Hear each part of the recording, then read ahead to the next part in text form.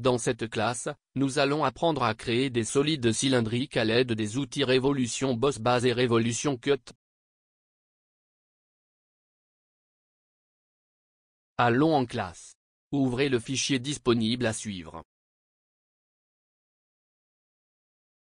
La commande Révolution Boss Base ajoute du matériel et nécessite la sélection d'un plan et la création d'une esquisse, ou la sélection d'une esquisse existante.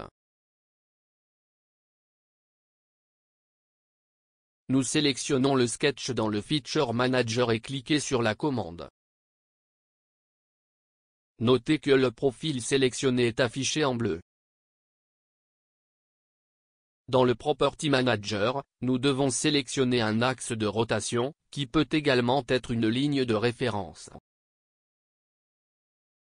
Nous sélectionnons la ligne affichée et observons l'aperçu.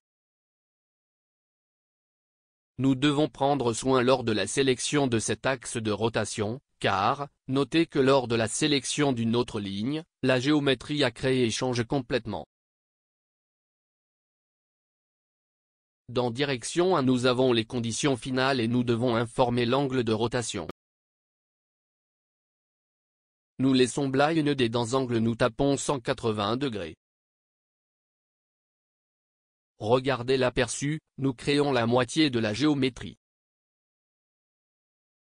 Nous changeons l'angle à 360 degrés et confirmons la commande, créant la géométrie complète. En utilisant l'autre esquisse, nous allons supprimer le matériel avec la commande Revolved Cut. Avec le croquis sélectionné, nous cliquons sur la commande. Son fonctionnement est similaire à Revolved Boss Base, cependant, il est nécessaire d'avoir un solide à partir duquel retirer le matériau. Nous sélectionnons la ligne indiquée pour référencer avant l'aperçu.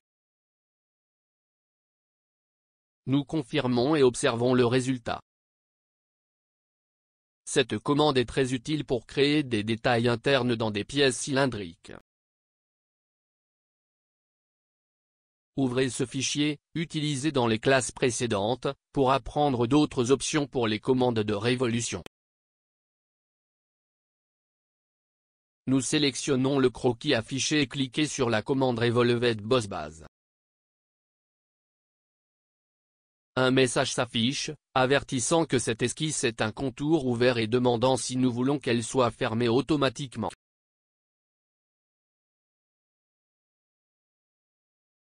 En cliquant sur Oui, SolidWorks remet automatiquement la ligne d'axe par une ligne continue et applique la commande pour créer une pièce solide.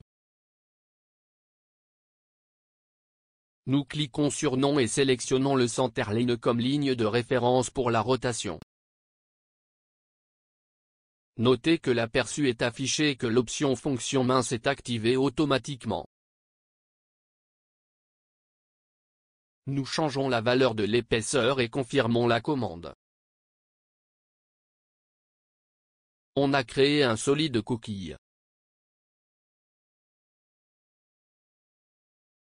Nous avons appris dans cette classe comment ajouter et enlever du matériel en utilisant des commandes de révolution, très utiles pour modéliser des géométries cylindriques.